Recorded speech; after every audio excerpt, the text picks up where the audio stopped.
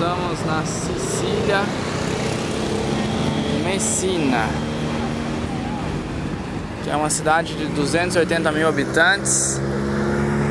Então essa aqui é uma das avenidas principais se não a principal. Tá tumultuada porque lá embaixo aconteceu um acidente entre uma um táxi Mercedes e um Audi TT Aqui o tráfego já está melhor, aqui é um cruzamento com semáforo.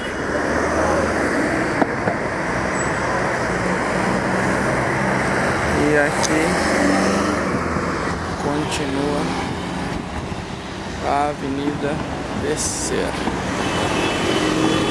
Então muitas vezes tráfego intenso. Tem carros da Fiat que não tem no Brasil. Muita Vespa. O pessoal anda bastante de motonetas aqui. Aqui temos uma igreja, tem muitas igrejas para cá, essa região é cheia de igrejas. Eu estou num cruzeiro indo em direção à Grécia. E hoje a parada saiu de Roma e é aqui em Messina, norte da Sicília.